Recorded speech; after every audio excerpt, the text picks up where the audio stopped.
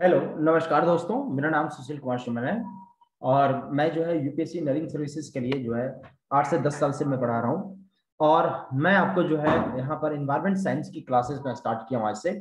तो मेरे साथ आप बने रहें और मेरे चैनल को सब्सक्राइब करें और ज़्यादा से ज़्यादा शेयर करें ताकि वैसे स्टूडेंट्स जिनको जो है सेल्फ प्रिपरेशन कर रहे हैं, उनको बहुत अच्छे तरीके से मैं मोटिवेट कर सकूँ और अपनी तरफ़ से जो बन पाए मैं आपको हेल्प कर सकूँ।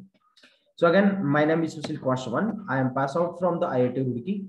I have cleared three time engineering services 18, 19 and 2020 with AIR 45 in 2020. Right? So students, now I'm going to discuss the questions or the topics which is related to the environment science.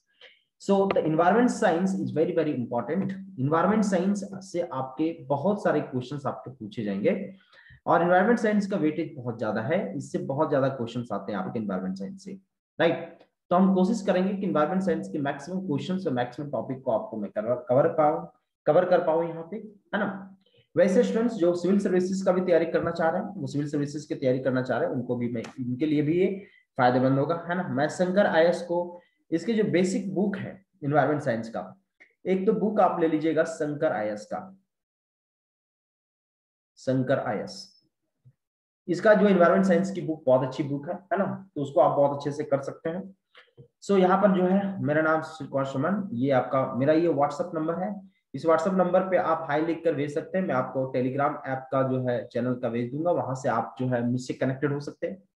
So if you want to connect with with me then you can WhatsApp on this number and let's start this is my YouTube channel get UPSC IES makers so just subscribe it and let's just start the topics, right? So environment science, what is the weightage of the environment science in the IES prelims? So there are 10 to 12 questions asked in your environment science in the prelim sections, right? So it is very, very important, around 20 to 24 marks in the GS portion of the engineering services. So the weightage of the environment science is very large as compared to other subjects, and it is the conceptual subjects, and it is very very important and very interesting interesting subjects, right? So students, यहाँ पर जो है, मैं बहुत अच्छे तरीके से बड़ा ही इंटरेस्टिंग सब्जेक्ट है ये आपका एनवायरमेंट साइंस इसको मैं स्टार्ट करता हूँ। So first of all what is the what do we mean by environment environment जब भी हम इन्वायरमेंट की बात कर रहे हैं इट मींस आसपास के जितने भी चीज़ें हैं that is living things non living things that will be collective approach that is nothing but your environments right? So let's start the first topic and the first chapter it is nothing but ecology. So what do you mean by the ecology? Ecology and what is the mean of the ecology right? So the ecology is nothing but oikos plus logos. This is the connection of the ecology right? So ecology forms by the two words and this is nothing but akash plus logos. Logos means a study, and the akash means place to live. वैसे चीज़ जहाँ पे हमारे जीव जंतु जितने भी living things है, जो भी है, वो रह रहे हैं, जिस हैबिटेट में रह रहे हैं, उनकी जो स्टडी करते हैं हम लोग that is called ecology so that is nothing but study of the home of the nature and that is called ecology right so in the ecology the classification of the animal on the basis of the habitat and habitats, right? मतलब किस habitat में रह रहा है? जैसे कोई जीव जंतु रह रहे हैं, जैसे मान लीजिए हम, आप स्नैक की बात करें, सांप की बात कर रहे हैं जैसे वो बिल में रहता है, चूहा की बात कर रहे हैं वो आपका कहाँ रहता है? बिल में रहता है है ना? ह्यूमन बीइंग है ना? कहाँ पे रह रहे हैं? उसके एक हैबिटेट है, जहाँ पे वो अपने सारी क्रियाक्रम, अपने लॉजिक अपने जितने भी हैं, उस हैबिटेट में रह करके अपने सारे फ़ंक्शंस को क्रिएट कर सकते हैं right that is nothing but ecology so, the ecology is nothing but the classification of animals and this, which classification of the animals in the basis of the habit and habitat. It means कहाँ पर वो रह रहे हैं, उनके ऊपर वो depend कर रहा है, उसके हैबिटेट क्या है, उसके आसपास के इन्वायरमेंट कैसे हैं, जहाँ पे रह रहे हैं, उसके नेचर ऑफ़ सॉइल क्या है क्लाइमेट क्या है राइट वेजिटेशन क्या है? So depends on this factors that is climate, vegetation, soils. These factors are defined the ecology terms, right? So the all living components, जितने भी living components है, so ecology basically two terms that is nothing but one component is the biotic component and other component is abiotic component right so biotic component and abiotic component दोस्तों अगर आप ये notes मेरा लेना चाहते हैं ये नोट्स बहुत इंपॉर्टेंट है आपके लिए अगर नोट्स आप लेना चाहते हैं तो मेरे व्हाट्सएप नंबर पे हाई लिख के भेजिए मैं आपको नोट्स व्हाट्सएप कर दिया करूँगा राइट सो यहाँ पर आपका क्या है कि biotic and abiotic this is nothing but your ecology components so there are two components of the ecology one is the biotics another is the abiotic components यार सो ऑल लिविंग थिंग्स जितने भी जीव जंतु हैं, जो living things हैं all living things are considered in terms of the biotic right? and all non living components is said to be abiotic components so jitne bhi living components hai that is comes under the biotic components and all non living components each comes under your abiotic components so ecology having the two habit depends on the habitat जहां पे लोग रह रहे हैं जहां उसकी environment है उसकी सॉइल की नेचर है उसकी क्लाइमेट की नेचर है so depends on the soil nature depends on the climate nature ecology को दो टर्म्स में बांटा गया, एक को बोल दिया बायोटिक दूसरा को बोल दिया एबायोटिक कंपोनेंट्स राइट बायोटिक वैसे कंपोनेंट्स हैं, जितने जो लिविंग बीइंग्स हैं, जितने भी लिविंग बीइंग्स हैं that is comes under your biotic components and all non living beings that is comes under your abiotic components Now come to the next. So there are some differences of biotic and abiotic components. So which component is said to be biotic and which is called abiotic components. So अभी मैंने अभी बात किया था कि जितने भी living beings है living that is comes under your biotic components and this is your non-living beings. So non-living beings factors that is comes under your abiotic components, right? So first of all, in the biotic that is green plants green plants comes under your biotic components है ना जितने भी plants है क्या है living beings है है ना फोटोसिंथेसिस के थ्रू अपना जो भोजन तैयार करते हैं वो जीव जंतु को पालते हैं और दूसरे के लिए हेट्रोटॉप्स का भी काम करते हैं।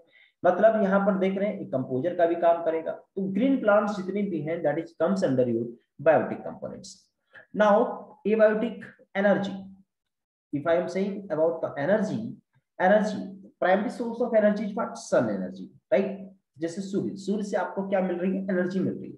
वो लिविंग थिंग्स नहीं है। बट वो एनर्जी मिल रही है that is nothing but abiotic सूर्य से आपको क्या मिल रहा है? सौर ऊर्जा मिल रहा है right biotic compo abiotic components है। दूसरा कंपोनेंट्स रेडिएशन अगर हम बात करें, जैसे सन सन से आपको क्या मिल रहा है? रेडिएशन मिल रहा है ना? जैसे धूप मिल रहा है आपको that is nothing but your abiotic components so non green plants green plants decomposer parasites decomposer है ना? जो डिकम्पोज कर रहा है आपका डिकम्पोजर आपको पता ही होगा, है ना? डिकम्पोज करके कोई भी मटेरियल न्यूट्रिएंट्स का फॉर्मेशन करता है that is nothing but decomposer elements parasites जो दूसरे पर डिपेंडेंट है आपके सेम्बायोटिन सहजीवन सेम्बायोट्स मतलब सहजीवन, इसको बोलते हैं हम लोग। जैसे ऐसे कंपोनेंट्स जो एक दूसरे के ऊपर रख के दोनों ग्रो करता हो दैट इज़ कॉल्ड सेम्बायोट्स है ना? एक दूसरे का साथ लेकर, है कि नहीं? कि बउआ तुम भी बढ़ो, हम भी बढ़ते हैं। साथ में रह करके आगे बढ़ते हैं। हम तुमको पढ़ाते हैं, तुम हमको पढ़ाओ। दोनों मिल करके आगे बढ़ेंगे।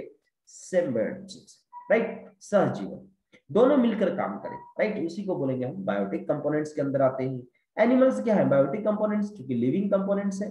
This is nothing but your biotic components now come to the abiotic components. As for example, temperature, heat, flow, that is abiotic components. Water, abiotic components. Atmospheric gases, wind. This is nothing but your abiotic components. Fire, abiotic components, gravity, topography, soils. These all are the abiotic components. जितने भी non-living things है that is comes under the abiotic components, right? Now, अब हम लोग बात करते हैं कि जो लिविंग ऑर्गेनिज्म है लेवल्स जो है ऑर्गेनिजम्स के वो कौन कौन से कंपोनेंट से बने होते हैं? So what is the what are the levels of organization in ecology right so in the ecology what are the types of the organizations and किस किस कंपोनेंट से मिलकर के एक पूरा बायोस्फीयर का निर्माण होता है? That is nothing but different types of the levels which is formed in your ecology systems. Right? So first of all क्या होगा? आप इसको आप ऐसे समझिए, जैसे इंडिविजुअल हम एक बीइंग ह्यूमन एक इंडिविजुअल है, हम है राइट मेरा नाम सुशील कुमार है, मैं एक इंडिविजुअल आदमी हूँ, ठीक है?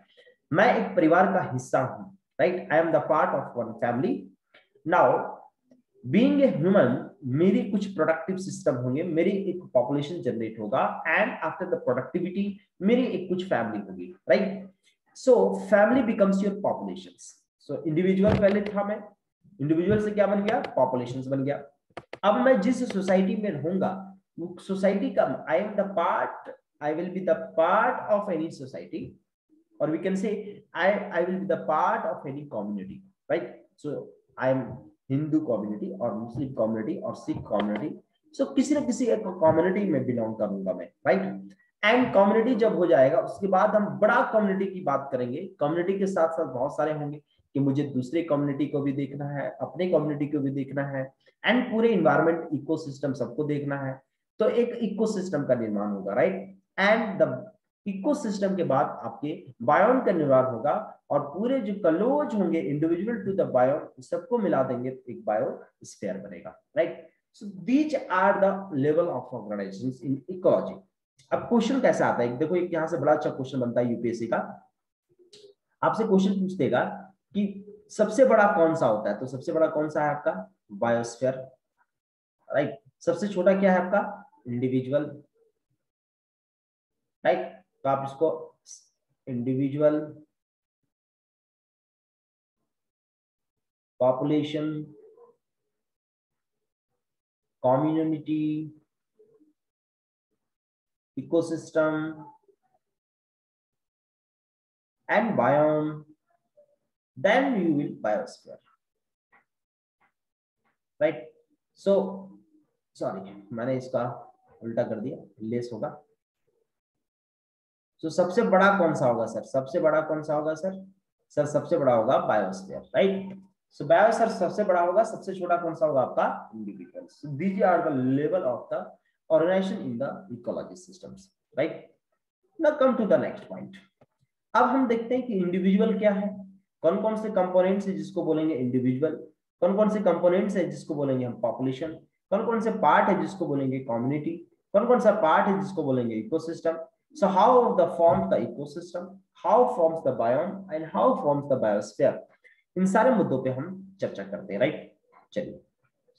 So first of all what is the individuals अभी मैंने बोला, एक सिंगल पर्सन हूँ, मैं एक आदमी हूँ जैसे। मतलब किसी न किसी फैमिली का पार्ट हूँ मैं। This is nothing but your individuals right so इसी को बोलेंगे हम क्या? क्या बोलेंगे सर हम? इंडिविजुअल्स बोलेंगे। So this is nothing but your individual right so, the organism that act independently, such as planet, animal, bacterium, fungi, जो इंडिविजुअल है, वो क्या होंगे आपके? इंडिपेंडेंट होंगे दूसरे सोर्स से राइट वो किसी के ऊपर डिपेंड नहीं करेंगे। जैसे हम प्लांट की बात करेंगे। प्लांट क्या होते हैं?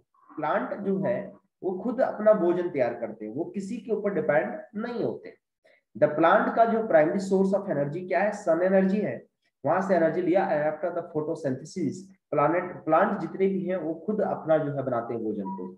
It means the create on food and that why this is called individual elements तो जितने भी इंडिविजुअल एलिमेंट्स हैं that will act as independently वो इंडिपेंडेंटली एक्ट होंगे। That is nothing but your individual elements now, come to the next population. So, the population is what? जितने भी individuals हैं, जैसे मान लो दस आदमी को मैंने बना, मिला दिया तो एक समाज का निर्माण हुआ और वो एक पॉपुलेशन कहलाया so it is the group of organism individual is not the group of organism that is the organism but population is the group of organism of the same species right जैसे मान लीजिए हाँ एक S नाम का आदमी है। P नाम का आदमी है सो so S नाम के आदमी के अलग populations है so the the population growth or we can say the population which is starting whose name starts from the S or we can say whose name starts from the P So having the different types of populations, the population is nothing but it is the group of organization of the same species that is called populations. So the population growth rate define variation of the number of individuals. अब population का growth क्या है? तो population का growth या तो positive growth हो सकता है, या तो negative growth हो सकता है है ना? या तो आप आगे बढ़ेंगे, या तो पीछे हटेंगे राइट सो पॉपुलेशन के दो ग्रोथ है आपके one is called positive growth another is negative growth now so if there is a growth is positive so अगर पॉपुलेशन का ग्रोथ पॉजिटिव है मतलब इफ़ नंबर ऑफ़ इंडिविजुअल्स अगर बढ़ रहे हैं if your number of individuals in a particular system ecosystem is increases or we can in the particular species increases then this is called growth rate is positive now this growth rate is positive which is depends on the two factors one is called birth factors another is immigrations right जैसे for example मुझे अपना population increase करना है population increase करना है मतलब क्या birth rate बढ़ाना पड़ेगा आपको तो अगर बर्थ रेट आपका बढ़ रहा है पॉपुलेशन ऑब्वियस इंक्रीज करेगा राइट इट मीन क्या? ग्रोथ इज़ पॉजिटिव ग्रोथ आपका कैसा है सर पॉजिटिव है. सो so, अगर ग्रोथ पॉजिटिव है मतलब बर्थ रेट आपका क्या हुआ? बढ़ राइट अगर इमिग्रेशन की बात कर रहे हैं इमिग्रेशन की बात कर रहे हैं मतलब इमिग्रेट हो रहे हैं आपके इमिग्रेशन मतलब क्या? एक ही हैबिटेट में डिफरेंट टाइप के स्पीसीज को अगर आप जो है ऐड कर रहे हैं तो ऑब्वियस है कि बर्थ रेट आपका क्या होगा? बढ़ेगा। ग्रोथ रेट आपका क्या होगा? पॉजिटिव होगा। Right but immigration and immigration both are different immigration मतलब कोई भी स्पीसीज एक जगह से हट के दूसरी जगह पे नया हैबिटेट बना रहा है, नया हैबिटेट में अपने आप को पाल रहा है और यहाँ से अपना माइक्रो ऑर्गेनिज्म क्रिएट करके वो आगे बढ़ना चाह रहा है। That is the immigration but immigration मतलब वो जिस हैबिटाट में है, जिस कल्चर में है, जिस इन्वायरमेंट में है, जिस टेम्परेचर पे वर्क कर रहा है, उसी टेम्परेचर में वो अपने आप को इंप्रूव कर रहा है। That is nothing but immigration तो ऑब्वियस ग्रोथ ग्रोथ रेट यहाँ पर क्या होगा? पॉजिटिव होगा। ऐसे समझ लीजिए आप कि आप किसी जगह पे वेल स्टेब्लिश है है ना? जैसे मान लो ये आपका जो है, जैसे मान लो मैं रांची में रहता हूँ। अब रांची में मैं वेल स्टेब्लिश हूँ तो वैसे अगर रांची में ज़्यादा काम करूँगा तो वैसे मेरा ग्रोथ रेट पॉजिटिव होगा। अब मैं रांची से ना हट करके, रांची से मैं चला गया दिल्ली। मतलब आपने आपको इमिग्रेट कर लिया, रांची से दिल्ली चले गया, नया सेटअप लगाना है मुझे, नया थिंग्स क्रिएट करना है मुझे, नई चीज़ों पे वर्क करना होगा मुझे। तो ऑब्वियस है कि यहाँ पर जो ग्रोथ रेट है वो क्या हो जाएगा आपका? स्लो हो जाएगा, है कि नहीं? तो यहाँ पर जो ग्रोथ रेट स्लो हो जाएगा दैट इज़ नथिंग बट किसके किसके कारण से ग्रोथ रेट स्लो होगा? तो या तो डेथ हो जाए या इमिग्रेट कर जाए। अगर ये दोनों फैक्टर आपके आ रहे हैं तो ऑब्वियस है कि ग्रोथ रेट आपका क्या होगा? नेगेटिव होगा सर है ना? सो so, पॉपुलेशन का ग्रोथ रेट पॉजिटिव है या पॉपुलेशन का ग्रोथ रेट नेगेटिव है इन मुद्दों पे अगर हम बात करें तो इन मुद्दों पे यहाँ पर देख रहे हैं कि पॉपुलेशन का growth rate either it will be positive और it will be negative right so it may be positive और it may be negative so birth immigration की बात करें अगर हम देन अगर आपका बर्थ रेट इंक्रीज कर रहा है इमिग्रेशन आपके हो रहे हैं that is growth is positive अगर डेथ रेट आपका बढ़ गया या इमिग्रेट कर गए, एक जगह से दूसरे जगह चले गए तो ग्रोथ क्या होगा? आपका नेगेटिव हो जाएगा। So, these are the main factors. These are the main factors, right? Now, come to the point. So, main factors to growth of a population in biotic and abiotic components is nothing but your either growth is positive or growth is negative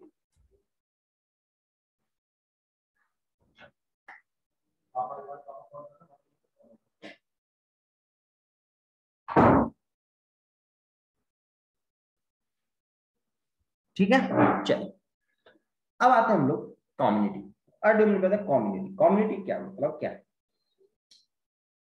जैसे किसी भी particular population की बात करें, अगर अभी मैंने बोला कि आदमी एक आदमी से बना एक फैमिली फैमिली से बन गया कम्युनिटी बस same as it is so the group of particular population और particular species is called community है ना? ग्रोथ कर रहे हैं किसी पर्टिकुलर पॉपुलेशन का पर्टिकुलर स्पीसीज का that is nothing but community so community को हम दो तरह से डिफाइन करेंगे। एक को बोलेंगे मेजर कम्युनिटी एक को बोल देंगे हम minor community right so one is called major community another is called minor community major community की अगर बात करें तो ऑब्वियस है मेजर मतलब साइज़ बहुत बड़ा होगा वेल ऑर्गेनाइज्ड होगा, है ना? बड़ा कम्युनिटी की बात कर रहे हैं that is nothing but your major community की बात कर रहे हैं। रिलेटिवली इंडिपेंडेंट होंगे, वो किसी पर डिपेंडेंट नहीं होंगे that is nothing but your major community right जैसे फॉर एग्ज़ाम्पल ऐसा कम्युनिटी जो सिर्फ़ और सिर्फ़ सन एनर्जी पर डिपेंड करता हो? जैसे प्लांट की बात कर रहे हैं। प्लांट जो है सोर्स ऑफ़ एनर्जी सन है वाटर है। तो अभी ऐसे सन की एनर्जी को वो ज़्यादा से ज़्यादा लेता है। जिससे for example tropical evergreen forest की बात करें। जितने भी नॉर्थ ईस्ट में फॉरेस्ट हैं नॉर्थ ईस्ट रीजन में चले जाइए, सदा आपको, सदा बहार आपको मिलेंगे आपको, है ना? एवरग्रीन फॉरेस्ट मिलेंगे। तो जो एवरग्रीन फॉरेस्ट है, उसका प्राइमरी सोर्स ऑफ़ एनर्जी क्या है? सन है है ना? तो सन है, इसलिए क्या मेजर कम्युनिटीज में है। मतलब ये जो आपके कम्युनिटीज हैं एवरग्रीन फॉरेस्ट के बहुत बड़ा है। जितने भी नॉर्थ ईस्ट रीजन चले जाइए आप, है ना? नॉर्थ ईस्ट रीजन आपको पता है। नॉर्थ ईस्ट रीजन की बात कर रहे हैं मतलब सेवन सिस्टर स्टेट की बात कर रहे हैं। सो सेवन सिस्टर स्टेट्स में आप कहीं पर चले जाइए, आपको हमेशा जो है ट्रॉपिकल एवरग्रीन फॉरेस्ट मिलेगा राइट तो ये आपके कहलाते हैं मेजर कम्युनिटी के अंदर। माइनर कम्युनिटी की बात करें, ये मोस्टली डिपेंडेंट होते हैं। अब आपसे इससे यूपीएससी में सिविल सर्विसेज़ हो या इंजीनियरिंग सर्विसेज़ हो, एक बड़ा अच्छा क्वेश्चन पूछा जाता है कि which one independent which one dependent major community independent है या माइनर कम्युनिटी इंडिपेंडेंट है? कौन से इंडिपेंडेंट है? तो सर यहाँ पे बोल सकते हैं आप इंडिपेंडेंट जो आपको है, वो इंडिपेंडेंट आपके कौन से है? मेजर कम्युनिटी माइनर कम्युनिटी क्या है सर आपके? माइनर कम्युनिटी आपकी क्या है? डिपेंडेंट है। माइनर कम्युनिटी क्या है आपके? डिपेंडेंट है। Right now come to the point so so mostly depends on the neighboring community. That is called minor community, है ना? जैसे इस फॉर एग्जांपल आप लोग देखे होंगे काउ डंग पेट या गोबर, आप जिसको तुम सिंपल से हिंदी समझ लिए गोबर। गोबर में देखे होंगे आप लोग, बहुत सारे छोटे छोटे कीटाणु, बहुत सारे जो है कीटाणु पाए जाते हैं, जो इसके ऊपर डिपेंडेंट होते हैं राइट जिसको बोलते हैं हम लोग lichen. Lichen in nothing but it is the combination of क्या? फंगी प्लस अलगाई फंगी और अलगाई का combination that is called lichen algae की बात करें हम अलगाई जिसे आप लोग देखते होंगे, जहाँ वाटर बहुत सारा फ्लो होता है जैसे पानी बहुत ज़्यादा फ्लो हो रहा है तो वहाँ देखते होंगे आप ग्रीन प्लांट्स हल्का हल्का जो है ग्रीन टाइप का जो है, वो क्रिएट हो जाता है। That is called algae algae right algae fungi fungi तो आपको पता है है ना? फफंदी पड़ जाना। That is nothing but your fungi तो दोनों का जो कॉम्बिनेशन है दैट इज़ कॉल्ड लिक्विड उसी को बोलते हैं हम लोग liquid right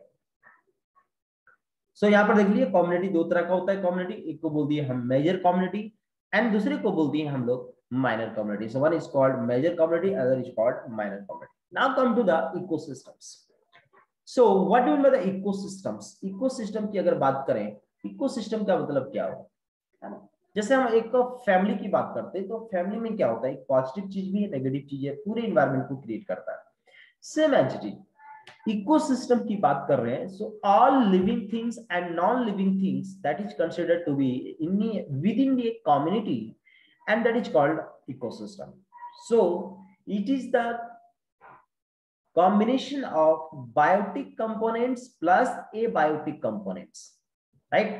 So biotic plus abiotic component that is called ecosystems जैसे फॉर एग्जांपल बायोटिक की बात करें तो plants tree animals piece birds microorganism water soil peoples these are the abiotic components this is this is your abiotic component but this is your biotic components so the combination of biotic and abiotic component that is called ecosystems इसी क्या बोलेंगे हम ecosystems अगर आपसे पूछा जाए कि what is the ecosystem so ecosystem को एक ही टाइम में बोलेंगे it is the combination of biotic and abiotic components that is called ecosystems आपसे पूछा जाए what is the ecology so ecology nothing but study of the all living and non living beings that is called ecology so ecology that's just as a philosophy ecology एक terms है but ecosystem it is considered to be entire environment right So the it is the combination of biotic components and abiotic components that is considered to be ecosystems, right? Now, first of all, consider which one is the abiotic components and what are the types of abiotic components. So this is nothing but various types of the abiotic components. So in the abiotic component components, we consider inorganic elements and non-living parts, right? That is called abiotic component such as soil, water, air, light, energy, that are the abiotic components, right? So first of all, define what is the energy. So energy, nothing but as for example, which create या हम बोल सकते हैं energy क्या है जो किसी भी हम काम को करते हैं उसमें मुझे प्रोवाइड करता है फोर्सफुली या हम बोल सकते हैं इसको किसी भी काम करने की क्षमता right that is nothing but energy So in the living beings or non-living beings, we can say here the sun is the primary source of energy. And the sun directly supply the energy. But sun can be indirectly supply the energy. So source of energy, primary source of energy, nothing but the sun. The other factors, abiotic components is rainfall. Right? जैसे हम बारिश की बात कर रहे हैं तो बारिश किसी भी इन्वायरमेंट को किसी भी इन्वायरमेंट को क्रिएट करने में, किसी भी इकोसिस्टम के हैबिटेट को क्रिएट करने में बहुत बड़ा मेजर फैक्टर रोल निभाता है। जैसे आज फॉर एग्ज़ाम्पल आप समझे, आप नॉर्थ ईस्ट रीजन में चले जाए। आप नॉर्थ ईस्ट रीजन में देखेंगे, जहाँ पे रेनफॉल बहुत ज़्यादा है, चेरापूंजी इलाका में चले जाए आप रेनफॉल बहुत ज़्यादा हो रहा है राइट तो जहाँ रेनफॉल बहुत ज़्यादा है, वहाँ पर देखिए इकोसिस्टम बहुत ही बेहतर है। कैसे? वहाँ पर देखिए जितने भी है living things non living things सारे कंपोनेंट्स आपको जो है बहुत अच्छे से दिखाई देंगे आपको। है ना? वहाँ पे बहुत सारे, जैसे एनिमल्स की बात कर रहे हैं, बहुत सारे जो है बर्ड्स की बात करें या बहुत सारे डिफरेंट टाइप ऑफ़ स्पीसीज की बात करें तो मोस्टली जितने भी स्पीसीज हैं, जहाँ पे रेनफॉल बहुत ज़्यादा स्पीसीज वहाँ पे बहुत ज़्यादा पाए जाते हैं। अब बात करोगे जहाँ राजस्थान की बात करें, जहाँ पे रेगिस्तान है, जहाँ पे रेनफॉल बहुत कम हो रहे हैं, क्या वहाँ पर बहुत ज़्यादा हैबिटेट्स तो अच्छे हैं नहीं? कि किसी भी इकोलॉजी किसी भी इन्वायरमेंटल सिस्टम्स को वहाँ क्रिएट कर सके, या किसी भी लिविंग ऑर्गेनिज्म बहुत अच्छे तरीके से रह सके, ये तो है नहीं। तो जहाँ रेनफॉल बहुत ज़्यादा होगा ऑब्वियस है कि वहाँ लिविंग ऑर्गेनिज्म बहुत ज़्यादा होंगे, वहाँ पे हैबिटेट बहुत अच्छा है उनको रहने का, वहाँ पे बहुत अच्छे से इन्वायरमेंट क्रिएट कर रहा है उसके लिए तो सारे फेथफुल इन्वायरमेंट क्रिएट होगा। कहा? जब रेनफॉल बहुत अच्छा होगा राइट थर्ड जो रीजन है वो टेम्परेचर अब टेम्परेचर में भी देखिए आप कि अगर कोल्डेस्ट प्लेस की बात करें, अब चलिए जाइए ऐसा प्लेस जहाँ कोल्डेस्ट प्लेस है। बहुत सारे हैबिट बहुत सारे लिविंग ऑर्गेनिज्म वहाँ पे पाए नहीं जाते। क्यों? क्योंकि वहाँ पर उसे उस तरह का इन्वायरमेंट क्रिएट नहीं हो पाता है। या आप ऐसी जगह चल जाए जहाँ बहुत ज़्यादा गर्मी टेम्परेचर बहुत ज़्यादा है। वहाँ पे भी इकोलॉजी बहुत अच्छा नहीं है, वहाँ पे भी इकोसिस्टम बहुत अच्छा नहीं है। तो इकोसिस्टम बहुत अच्छा हो ऑब्वियस है, इसके लिए क्या चाहिए? टेम्परेचर ना तो बहुत ज़्यादा हो और ना ही टेम्परेचर बहुत कम हो। सो so, टेम्परेचर क्या करेगा? टेम्परेचर एक क्रिटिकल रोल प्ले करता है किसके लिए? इन्वायरमेंट के लिए right so to survival of the any organisms temperature play the crucial role right now come to the next atmosphere so when i'm talking about the atmosphere atmosphere it means what? It is the combination of total So the Earth atmosphere is responsible for creating conditions of suitable for the existence of a healthy biosphere on this planet, right? किसी भी planet में अगर healthy biosphere आपको चाहिए atmosphere बहुत अच्छा होना चाहिए। सो अर्थ एटमोस्फेयर जो है that is responsible for creating the condition suitable for the existence of healthy biosphere right as for example जैसे आप पढ़ाई कर रहे होते हैं राइट आपके मम्मी पापा बोलते हैं, बेटा, यहाँ का एटमोस्फेयर अच्छा नहीं है, यहाँ पे आप पढ़ नहीं पाओगे। मतलब क्या है? जो सुटेबल पैरामीटर्स होना चाहिए पढ़ने के लिए, शांति चाहिए आपको, है ना? अच्छे लोगों का संगति चाहिए आपको, अच्छे लोग रहना चाहिए आपके साथ।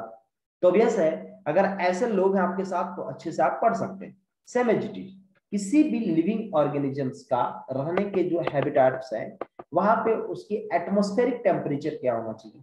उसके एटमोस्फेयर कैसा है?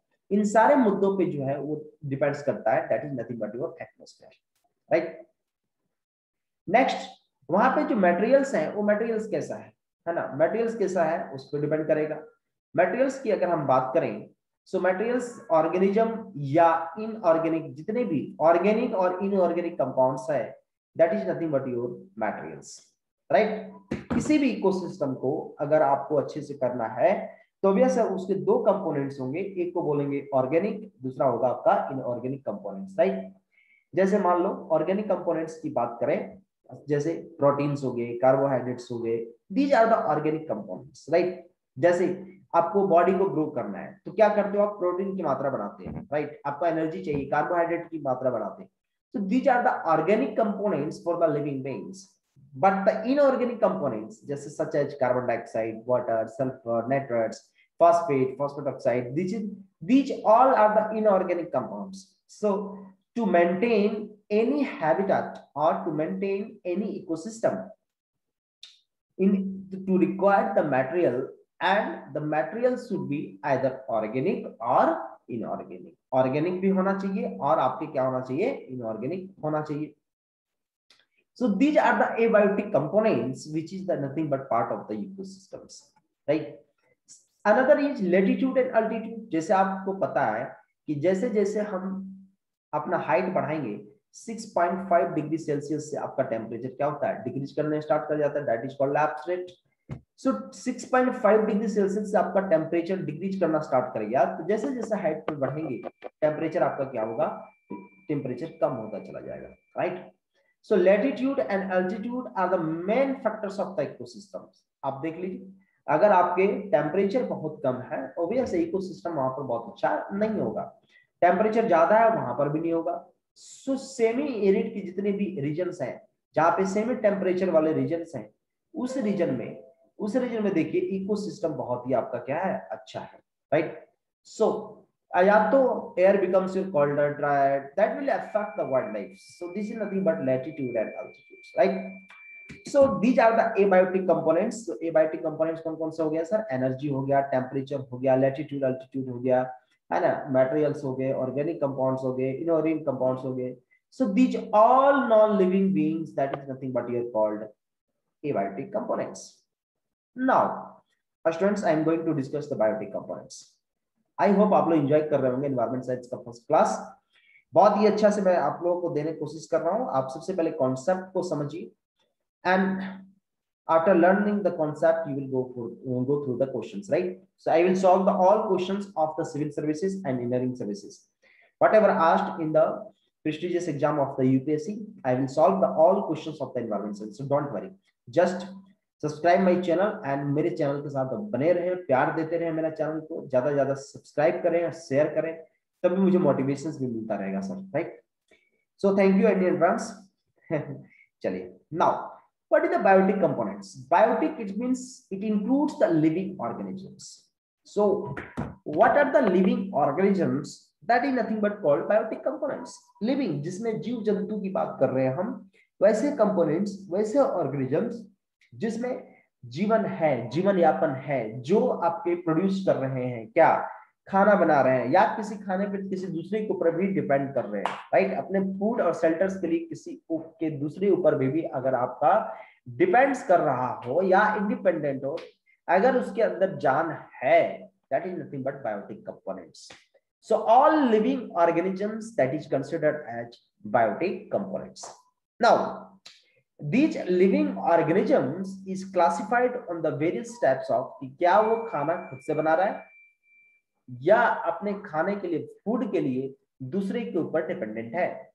सो इट इज़ इंडिपेंडेंट और dependent so in the on the basis of the food creation either it will be dependent और it will be independent so first of all what is that are the primary producers so the primary producers this is nothing called autotroph जैसे green plants की बात कर रहे हैं। Primary producers वो हैं जो अपना भोजन स्वयं तैयार कर रहे हैं। खुद अपने भोजन को तैयार कर रहे हैं it means they make food they make on food that is nothing called primary producers right as for example green plants so they synthesize the carbohydrates from the simple inorganic raw materials and carbon dioxide water and presence of sunlight by the process of photosynthesis right आपको पता है कि जब भी हम बात करते हैं कि भैया पेड़ पौधा अपना खाना बना रहा है पेड़ पौधा खाना किससे बना रहा है आपका क्या क्या लेगा सन एनर्जी लिया राइट लाइट एनर्जी लिया वहाँ से आपका दूसरा काम क्या किया इसने? इन ऑर्गेनिक रॉ मटेरियल्स लिए कार्बोहाइड्रेट्स लिए कार्बन कार्बन डाइऑक्साइड लिए एंड प्रेजेंस ऑफ़ सनलाइट में फोटोसिंथेसिस किया प्रोसेस और उससे क्या हुआ आपका? अपना खाना बना दिया। So these are the primary producers है ना? वो किसी के ऊपर डिपेंडेंट नहीं है। So these are the primary producers. Now second one, So, biotic components में कौन कौन से आ गए? एक हो गया प्राइमरी प्रोड्यूसर्स दूसरा आ गया कौन सा? कंज्यूमर्स कंज्यूमर्स वो हैं। जैसे हम बोले कि आई एम द कंज्यूमर्स मतलब क्या है? कि किसी के भी प्रोडक्ट को मैं कंज्यूम कर रहा हूँ, ले रहा हूँ। राइट मतलब मैं किसी के ऊपर डिपेंडेंट हूँ। That is nothing but your consumers that is called heterotrophs So, consumers are incapable of producing their own foods. Right? Consumers अपने आप कभी भी भोजन बनाते नहीं हैं. They are depends on organic food, which is derived from plants and animals. इसका मतलब क्या समझे? कंज्यूमर्स जो भी होंगे, कहेगा which one is the consumers elements तो कंज्यूमर्स जो भी होंगे, ये क्या करेगा? डिपेंडेंट होंगे। सबसे पहले इसकी क्वालिटी क्या है? ये डिपेंडेंट होंगे। अच्छा ठीक है सर किसके लिए? फ़ूड के लिए। वो तो फ़ूड के लिए डिपेंडेंट होंगे दूसरे के ऊपर राइट अब वो जो फ़ूड क्रिएट होगा, वो कौन कौन फ़ूड क्रिएट करेगा? या तो प्लांट्स के थ्रू होगा, या तो एनिमल्स के थ्रू होगा। That is called consumers right अब कंज्यूमर्स जो है, दो तरह का होता है कंज्यूमर्स एक को बोलते हैं हम माइक्रो कंज्यूमर्स दूसरे को बोल देंगे हम मैक्रो कंज्यूमर्स ध्यान से समझिएगा यहाँ पे। माइक्रो एंड मैक्रो दोनों में अंतर है।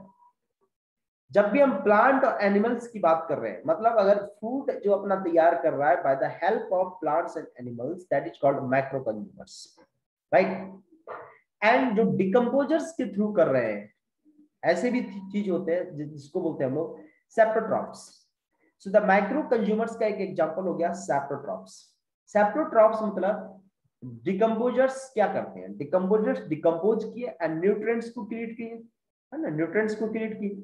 So this is nothing but क्या? न्यूट्रिएंट्स क्या है? भोजन है आपका, है ना? फ़ूड है. Right so this is nothing but called micro consumers so there are two types of the consumers. One is called micro consumers, another is called macro consumers. So, this is your consumers. तो यहाँ पर देख लिया मैंने biotic components का biotic components में दो चीज़ हो गए आपके, एक कंज्यूमर्स हो गए।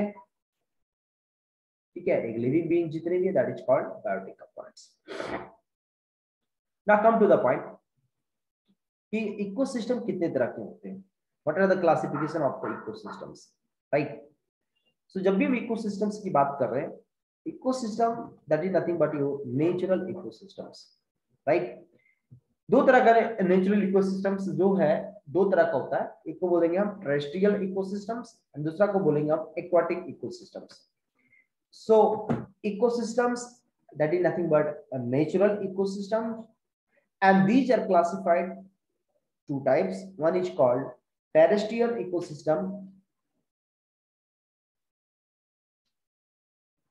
and another is called aquatic ecosystems right now for the terrestrial ecosystem जैसे forest grasslands deserts है ना forest मतलब जंगल grasslands जो घास जो बड़े बड़े घास होते हैं है ना एंड घासों का मैदान बोल सकते हो या बड़े बड़े जो भी होते हैं घास जैसे आप देखे होंगे पानी के अंदर जो है बड़े बड़े घास होते हैं ग्रास लैंड राइट डेजर्ट्स तो आपको पता है जहाँ पे कुछ भी नहीं पाया जाता deserts this is called terrestrial ecosystem right aquatic aquatic मतलब वाटर एक्वाटिक मतलब वाटर होता है, ठीक है? वाटर से रिलेटेड जितनी भी है, जैसे fresh water saline water marine water so water aquatic system मतलब क्या समझे? कि जो नेचुरल इकोसिस्टम है, वो दो तरह का हो गया आपका. एक इकोसिस्टम है लैंड से रिलेटेड और एक इकोसिस्टम है किससे रिलेटेड वाटर से related so one ecosystem is related to the land and another ecosystem is related to the water and that is the classification of the ecosystems right so there are two types one is called terrestrial ecosystem another is called aquatic ecosystems right So students, यहाँ पर देख रहे हम लोग ecosystems.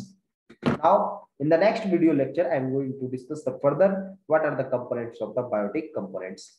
Thank you. Thank you so much and God bless you all. Thank you.